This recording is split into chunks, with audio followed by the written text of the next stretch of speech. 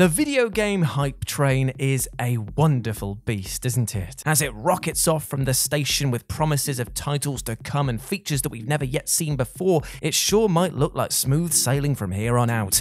Yet what's this? A rock of reality on the tracks? It looks like the ride is going to be a bit rougher than expected.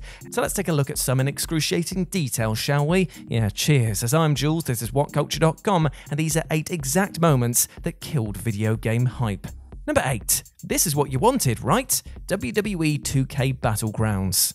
When 2K were rightly dragged over the coals with gusto by fans and critics thanks to their abysmal WWE 2K20 offering, it was clear that enough was finally enough. Lambasted for its atrocious bugs, piss weak dialogue, recycled and outdated animations, and complete lack of modes, the massive negative response sent the publisher into damage control and forced them to pull out of the annual release cycle. This move alone was like a ray of hope for many that by speaking with their wallets, fans might have actually enacted a positive change for the ailing franchise, giving the devs time to address the cracks in the foundation rather than just stacking more and more cards on top. And sweetening the deal, 2K even promised that they would still release a wrestling game in the interim and that it would be like nothing we've ever seen before. However, that modicum of hype was replaced with utter horror once we saw what monster we were going to have to grapple with. The first gameplay reveals of WWE 2K Battlegrounds was enough to tombstone any hope we had of getting a good game into the mat. With nightmarish visuals, clunky animations, and of course gameplay that looks somehow hectic and boring at the same time, which alienated both the hardcore crowd and kids in a single move. Fingers crossed it never gets a sequel and isn't indicative of how 2K's future WWE content is going to be treated. Number 7. Seeing actual launch day code No Man's Sky. I know that we're all aware of the, uh, let's just call it, tumultuous journey of No Man's Sky, but trust me, for a while this thing did actually look like it was going to be the game to end all games. Hell, I even remember attending a gig that acted as a preview for the soundtrack courtesy of 65 Days of Static, and I was utterly blown away. And I, alongside so many others, wasn't just on a hype train for this game, we were on the hype station orbiting Earth, gazing off into the abyss of space with feverish anticipation. Yet the horrible pull of reality sent that space station crashing back to terra firma when some cheeky whippet managed to get hold of an advanced copy of the game via eBay and put up a near full preview of the launch version of the game because, my god, did the bloom come off the rose here. Nearly every promise made by the devs was either shown to be false or, at best, wildly over exaggerated, and just like that, with an almost Thanos inspired snap of the fingers, the hype train was killed, and now we were left adrift in the cold embrace of nothingness. Thankfully, the devs did put the hours in to actually dole out many of the promised features, but at launch, well, it was an entirely different story. Number 6. It's not XCOM, it's a card game Marvel's Midnight Suns. Now, I don't think I've ever swung so hard from being totally embedded in the hype train to jettisoning myself out of the window than when it came to the recent announcement of the Firaxis developed Marvel Midnight Suns. When I saw the developer name attached to the project, my heart leapt at the thought of what could effectively be seen as XCOM Marvel Edition, but that hype was thoroughly dashed twofold in short order. Firstly, the devs just came out and said that it was most definitely not the case, which to tactics hounds like myself was basically a sign saying, put your wallet away, pal. And this was doubled down on when the gameplay segment showed that combat was going to be focused on randomly drawn cards.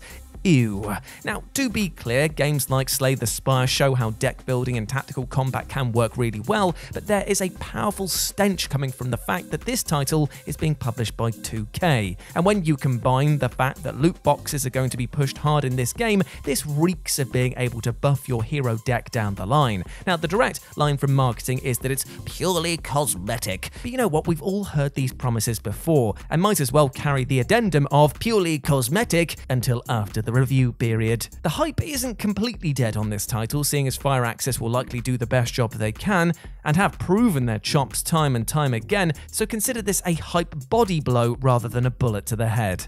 Number 5. Like an anime fan on prom night. Mighty Number 9.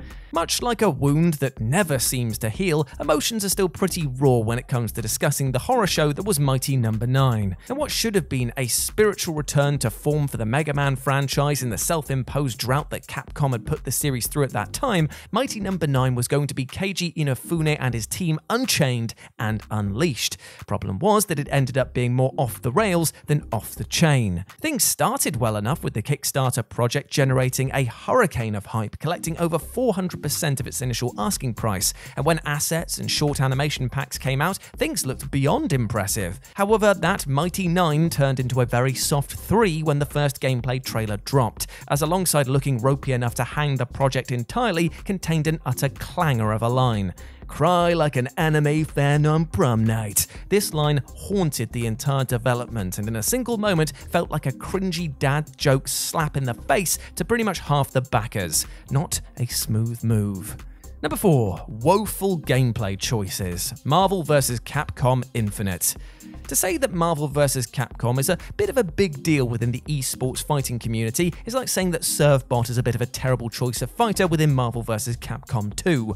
Quite the understatement. For years, the liquid smooth gameplay, fantastic dream roster, and almighty soundtrack kept the series in the limelight, and constant representation at fighting tournaments fed back into the public consciousness. But that all came crashing to a halt with Marvel vs. Capcom Infinite. Capcom thought they were onto an absolute winner with this title and hoped that it would be picked up by the esports community. However, this same community laughed in the face of Infinite for many, many reasons. While the graphics that looked like if Morph was computer animated were bad enough, the smaller roster, thanks to the exclusion of the X-Men, closed the door firmly for many players. However, it was the announcement of the gem system that killed the hype dead in its tracks. Here, players would be able to equip gameplay altering gems to buff attacks or negate those of their enemies, and as such removed the balance that fighting games should set in stone from the off. Now, while it opened up more team choices, many felt the decision to be a cheap gimmick, including esport event members who basically barred the game from entry. Ouch.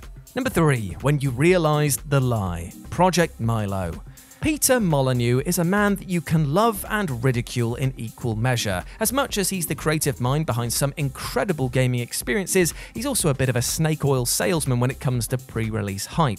There is nothing he won't say or do or promise in order to get eyes on his product and cash in his wallet, even going so far as to denounce his prior works in order to hype up his latest flavour of the week. And while it would be easy to include any of the Fable games on this list of hype killing moments, we're going to take a look at one of his most curious and downright insane ideas ever Project Milo.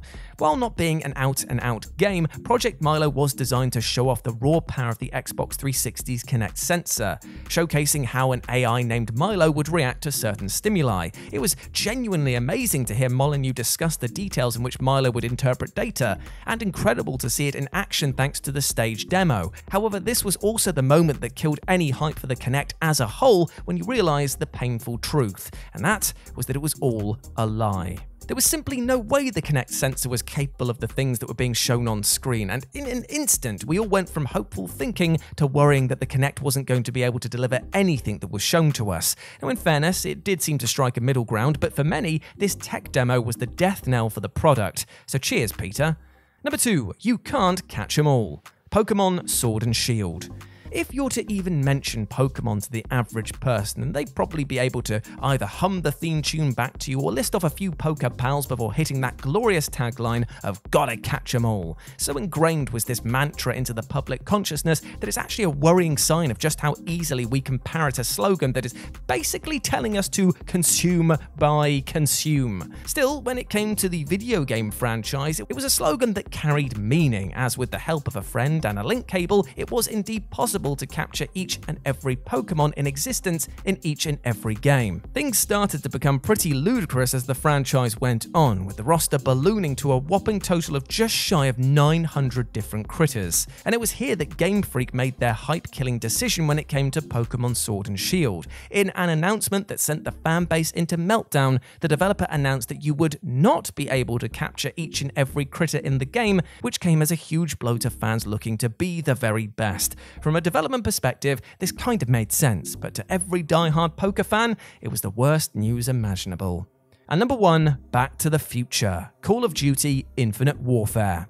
When looking at the Call of Duty franchise, it's hard not to compare it to the industry fluctuations experienced by the likes of Disney, Marvel, and DC, in that there was the gestation age leading into a silver and gold era, and then the muddy, convoluted, edgy periods before hitting a huge renaissance. Whatever your opinions on the games, the triple threat of sci fi heavy titles consisting of Advanced Warfare, Black Ops 3, and Infinite Warfare represent that confusing period in time for the franchise. Now, fans mostly enjoyed the over the top action, but lamented that the series would return to a more present day or even past setting. And these voices became louder and louder with each release and culminated in the monstrously disliked launch trailer for Infinite Warfare. Here, fans were saying emphatically that the sci fi setting was tested and tired. And while the title went on to actually provide a lot of fresh ideas, it was the moment that many fans just tapped out on the series as a whole. The trailer is still one of the most disliked videos on the YouTube platform, and with each of the million plus downvoters becoming a nail in the franchise, it is the purest example of a hype killing moment on record.